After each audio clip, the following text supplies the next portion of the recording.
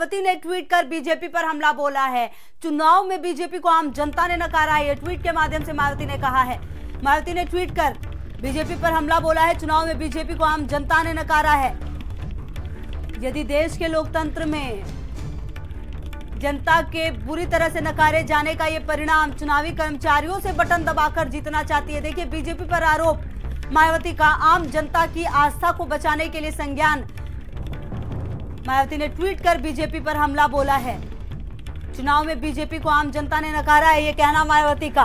कल कई प्रकार की घटनाएँ हुई और उसके बाद ये ट्वीट मायावती का आया है। बीजेपी पर तंज और आरोप भी। चुनाव कर्मचारियों से बटन दबाकर जीतना चाहती है।